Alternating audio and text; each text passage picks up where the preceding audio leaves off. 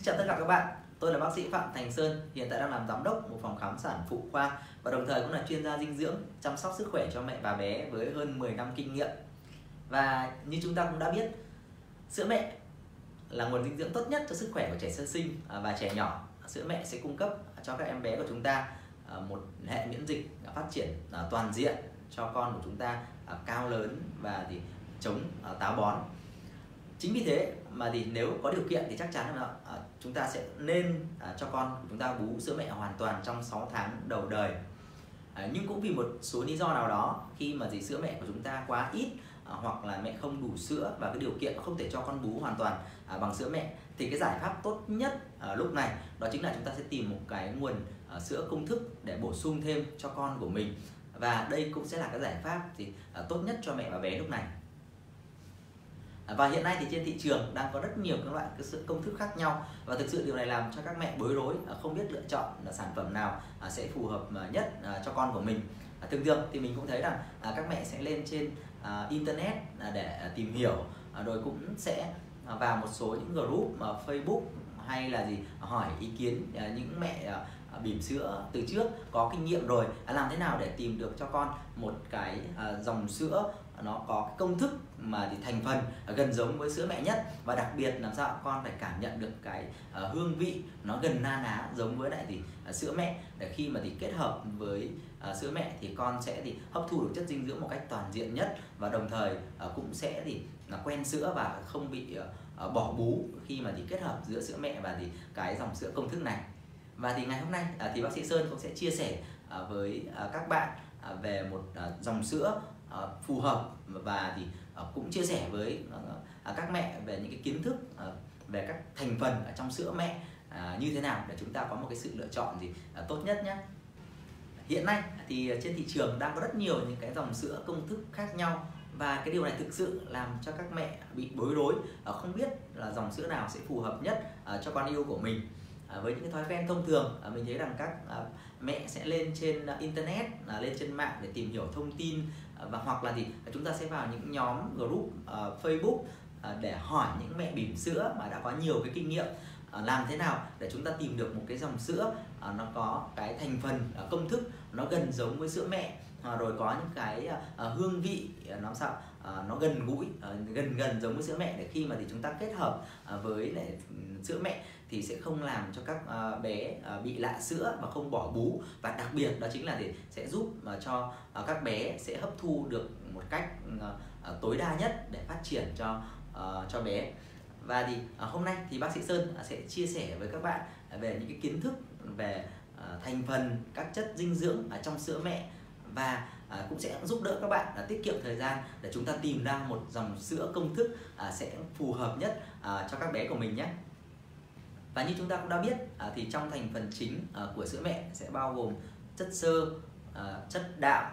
chất béo rồi các hệ kháng nguyên à, kháng thể và thì đặc biệt là thì có rất nhiều vitamin à, và khoáng chất. À, với à, chất xơ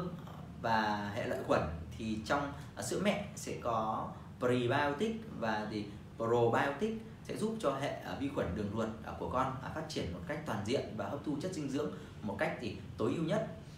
À, ngoài ra nữa thì trong thành phần chính của sữa mẹ không thể bỏ qua được chất béo. Chính chất béo sẽ giúp cung cấp năng lượng à, tới 50% để cho con có thể thì hoạt động hàng ngày. Và thì chất béo sẽ là một cái chất dung môi để mà giúp cho ừ, con có thể hấp thu được các chất vitamin một cách thì tối ưu nhất. À, chất đạm hay chúng ta còn gọi là protein. Đây là một thành phần vô cùng quan trọng ở trong sữa mẹ giúp cấu thành lên cơ thể của bé à, cung cấp các nguyên liệu để xây dựng cho hệ cơ xương khớp của bé phát triển à, một cách toàn diện vững chắc. Và thì protein của chúng ta thì có hai loại protein, đó chính là whey protein và casein protein. Ở trong sữa mẹ thì cái tỷ lệ whey trên casein của chúng ta sẽ là tỷ lệ 6 trên 4 sẽ giúp cho bé sẽ hấp thu được tốt hơn và chống được táo bón ngoài ra nữa thì chúng ta sẽ có uh, chất uh, bột đường hay của chúng ta còn gọi là gì? Um, carbon hydrate. Ờ, với uh, chất bột đường này thì sẽ giúp cho trí não của con các tế bào uh, sẽ phát triển uh, tốt hơn. Uh, các neuron thần kinh uh, gắn kết một cách toàn diện hơn. Và thì sẽ giúp uh, cho cái hệ đường ruột hệ tiêu hóa của bé phát triển tốt uh, hấp thu các chất dinh dưỡng uh, một cách uh, tuyệt vời hơn trong môi trường bên ngoài à, thì chúng ta cũng biết rằng có rất nhiều các vi khuẩn có hại cũng như là các tác nhân gây bệnh. Và khi cơ thể của trẻ bị các tác nhân này tấn công, thì trong sữa mẹ sẽ cung cấp một cái nguồn kháng nguyên kháng thể à, dồi dào để giúp cho cơ thể của bé à, chống lại các tác nhân gây bệnh này. Và bé có thể sẽ phát triển một cách toàn diện và lớn lên một cách an toàn khỏe mạnh. Và đặc biệt đó chính là thì trong sữa mẹ còn có rất nhiều sắt canxi selen sẽ giúp uh, hấp thu một cách tối ưu và thì giúp cho hệ xương răng của bé uh, chắc khỏe uh, cũng đồng thời giúp cho trí não của con phát triển một cách thông minh và toàn diện. Trên đây à, là những kiến thức và những thông tin rất bổ ích về sữa mẹ à, sẽ giúp cho chúng ta có được một cái sự à, định hướng rõ ràng lựa chọn những dòng sữa công thức à, phù hợp à, cho bé yêu của mình. Và Danalac Gold Pro cũng là một trong những dòng sữa mà bác sĩ Sơn đã tìm hiểu rất kỹ Ờ, và cũng thấy rằng cái công thức, cái thành phần ờ, nó giống tương tự với sữa mẹ với những tỷ lệ ờ, dinh dưỡng rất là cân bằng giúp cho bé yêu của chúng ta phát triển một cách toàn diện. Đầu tiên thì Danalac Gold Pro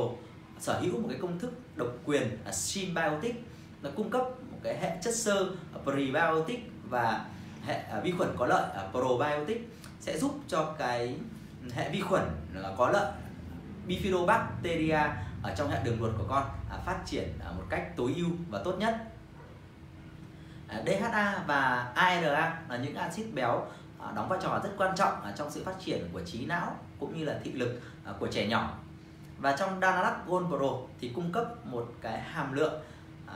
DHA và ARA đó chính là 7,7 mg trên 100 ml một à, cái hàm lượng mà theo tổ chức y tế thế giới đã khuyến nghị là rất tốt cho sự phát triển của trí não của con à, trong cái giai đoạn từ 0 à, cho đến 6 tháng tuổi. Và ngoài ra thì DHA và ARA e còn giúp giảm cái tỷ lệ bị dị ứng da và dị ứng cái đường hô hấp ở trẻ nhỏ.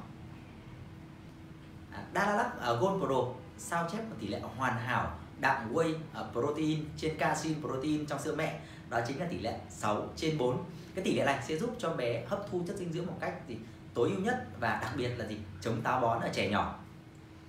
Ở ngoài ra thì trong uh, Dallas Gold Pro sẽ cung cấp 26 loại à, vitamin và khoáng chất sẽ giúp cho cơ thể bé phát triển một cách toàn diện à, cung cấp cho bé một cái nguồn năng lượng dồi dào cho những cái hoạt động thường ngày của bé trên đây à, là những thông tin về dòng sữa Dalalac à, Gold Pro. Ờ, một dòng sữa mà bác sĩ Sơn rất là yêu thích và cũng đã dùng à, cho con yêu của mình.